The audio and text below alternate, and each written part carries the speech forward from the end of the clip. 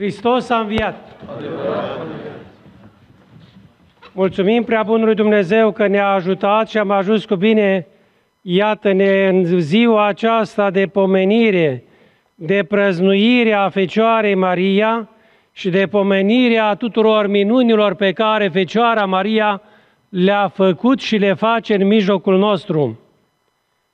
Mulțumim născătoare de Dumnezeu care ne-a dat putere ca să fim aici și iată, dacă ieri pe timpul acesta ne gândeam că poate va fi vreme urâtă, va ploua sau mai știu eu ce, iată că acum cerul s-a oprit și am putut să vârși frumos taina sfințirii apei cele mici aici în incinta mănăstirii în fața dumneavoastră.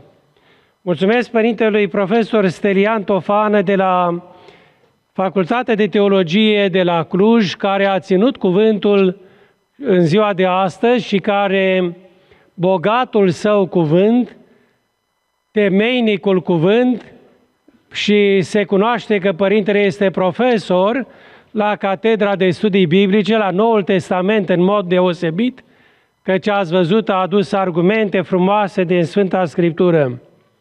Și ca să rămână în același duh al Sfintei Scripturii, voi aminti doar atât că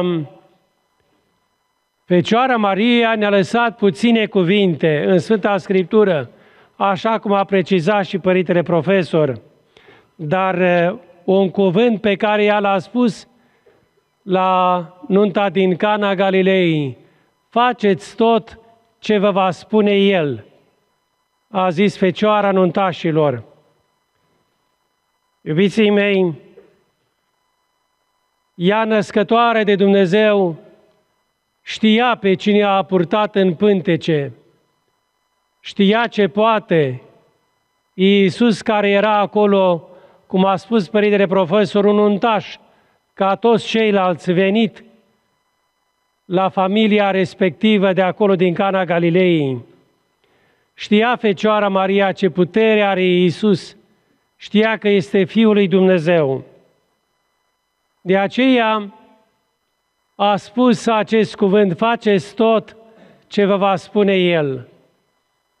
Și pentru că s-a vorbit de Sfânta Scriptură și s-a vorbit din Sfânta Scriptură, a să fac îndemn la citirea Sfintelor Evangheliei.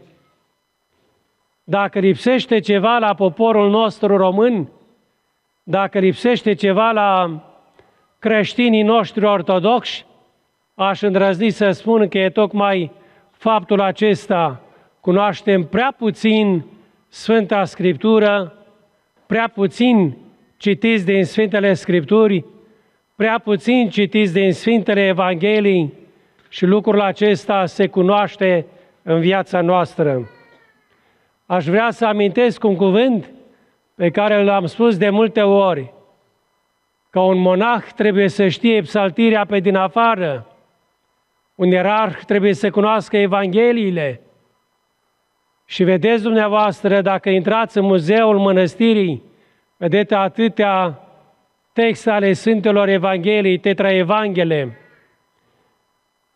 cum este și tetraevanghelul de la 1473 și o însemnare pe el a lui Petru Rareș, care spune că a luat acest tetraevanghel făcut din porunca tatălui meu, a Marelui Domn Ștefan cel Mare.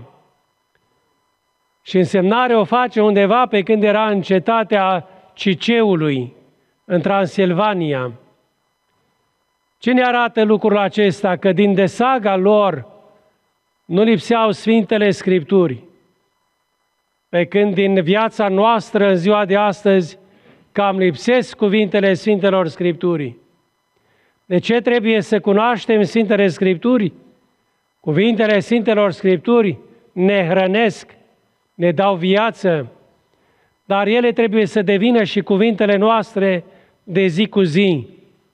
Un om frumos, un om care citește din Sfintele Scripturi, acela știe să și vețuiască frumos.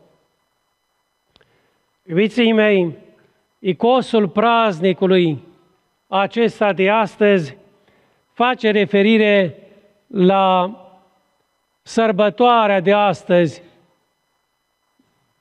la vindecările care au venit prin apa cea sfințită, dar și la vindecările pe care Fecioara Maria le-a trimis în decursul timpului. Să nu uităm că în lume sunt foarte multe icoane ale Maicii Domnului făcătoare de minuni, cum este și cea de aici, cum este și cea de la Nicula, cum este și cea de la Neamțu, cum este și cea de la Kiev, cum este și cea de la Sfântul Serghie, de Radonejd, cum sunt și atâtea și cum icoana Maicii Domnului din Kazan și atâtea alte icoane ale Maicii Domnului. Nu ne mai amintim pe cele din Sfântul Munte. Le-am amintit pe acestea de aici, din țară și câteva din spațiul slav. De ce? Pentru ca să ne amintim că născătoare de Dumnezeu a venit în ajutor de nenumărate ori. Și în zilele acestea grele toți trebuie să ne îndreptăm către născătoare de Dumnezeu rugându-o pentru pace și pentru liniște. Iată icosul praznicului, născătoare de Dumnezeu, cea fără prihană, care ai născut în chip de negrăit pe cuvântul Tatălui, cel mai înainte de veci, deschidem gura, prea cinstită, călăuzindu-mă spre lauda ta, ca să te mărezi glăsuind către izvorul tău acestea. Bucură-te, izvorule al bucuriei cele neînsetate, bucură-te, șuvoi al frumuseții cele negrăite, bucură-te, izgonitoare a tuturor bolilor, bucură-te, nimicitoare a feluritelor patimi, bucură-te, râule prea limpede, care te măduiești pe cei credincioși, bucură-te, apă prea plăcută, celor bolnavi de tot felul. Bucură-te apa înțelepciunii, care îndepărtezi necunoștința. Bucură-te amestecarea inimii, care picure ambrozie. Bucură-te vas al manei, izvorător de viață. Bucură-te baie și nectar din dumnezeiesc izvor. Bucură-te ceea ce ești stabil împotriva neputinței. Bucură-te ceea ce stingi văpaia bolii. Bucură-te, apă izvă, izbăvitoare! Așa se încheie icosul sărbătorii a praznicului acestea de astăzi.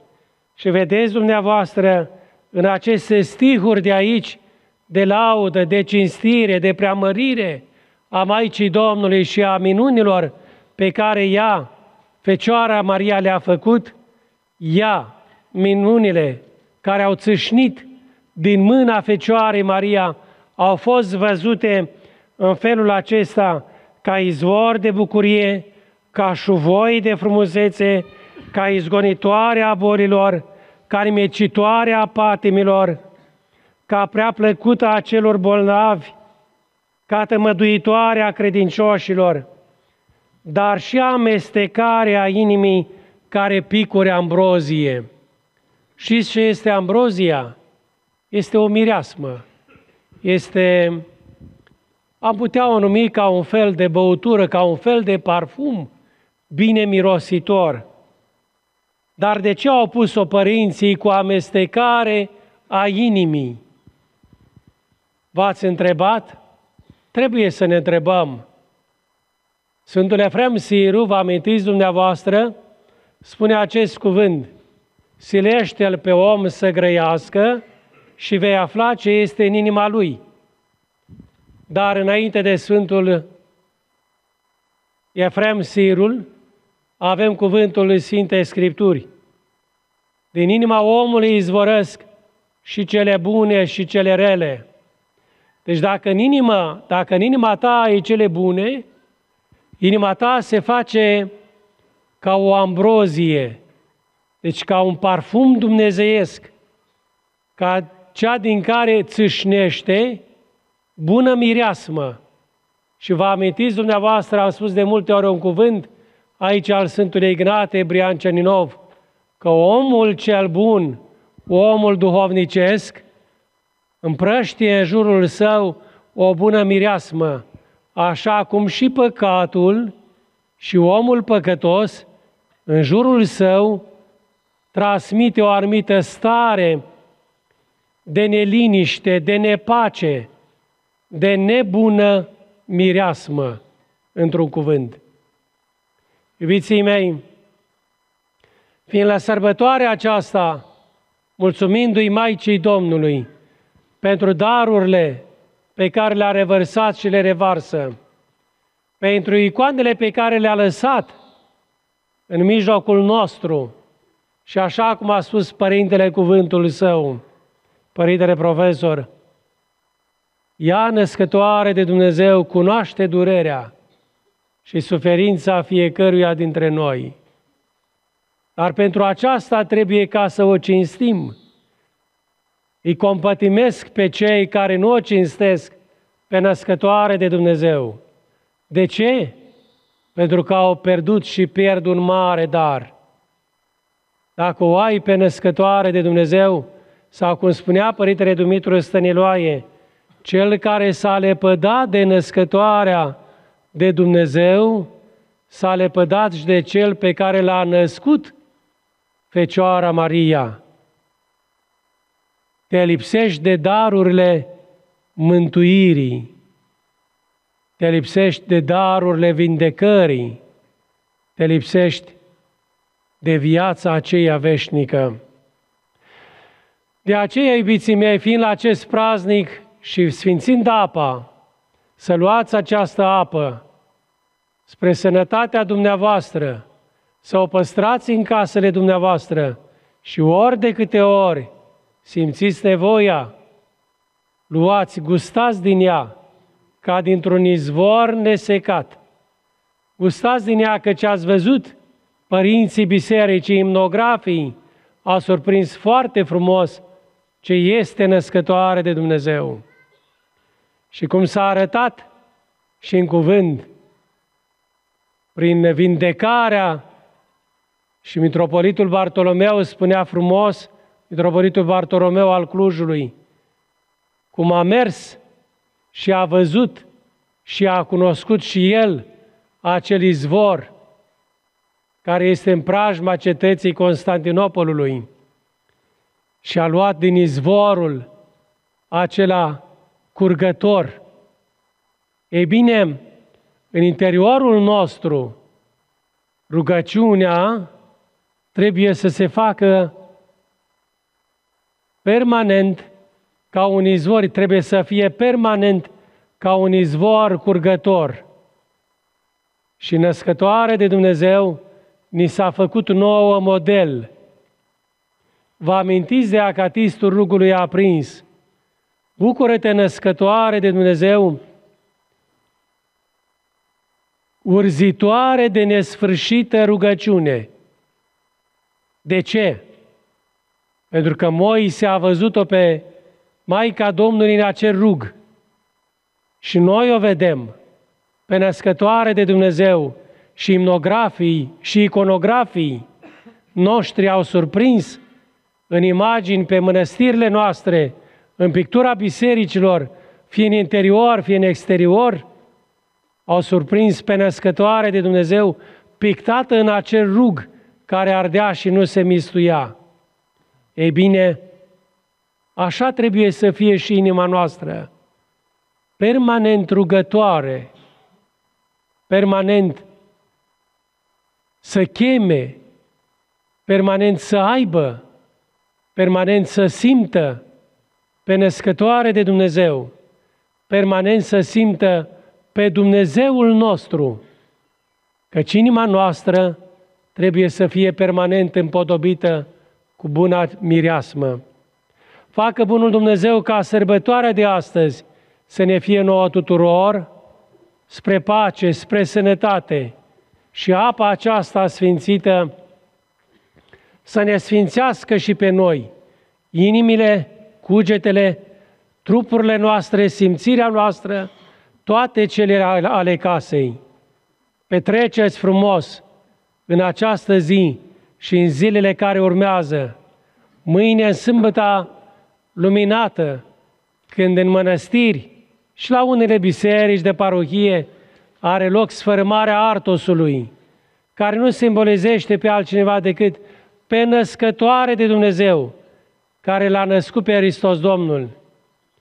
Să luați și artosul spre sfințire și apoi să ne vedem cu pace și bucurie în Duminica Tomii, când și noi să ne bucurăm împreună cu Toma și să zicem și noi, Domnul meu și Dumnezeul meu. Dar când am zis aceasta, să simțim cu adevărat și El, Domnul și Dumnezeul nostru, să rămână cu noi, dar și noi să rămânem cu El. Așa să ne ajute Bunul Dumnezeu, la toți amin. Hristos a înviat! Hristos a înviat! Hristos a înviat!